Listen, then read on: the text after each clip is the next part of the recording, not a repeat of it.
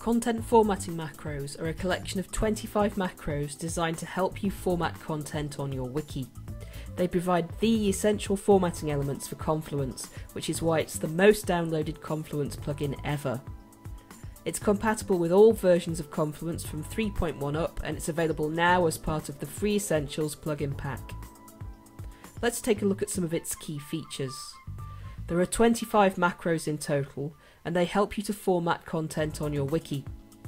They include macros to align content either left, right, or in the centre of a page, put text in an attractive box with rounded edges, insert a search box for the current space, include special characters like trademarks and copyright symbols, as well as make whole areas into clickable links and there are many, many more.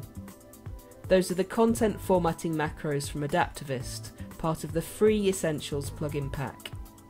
For more information, visit plugins.adaptavist.com or follow at We Love Plugins.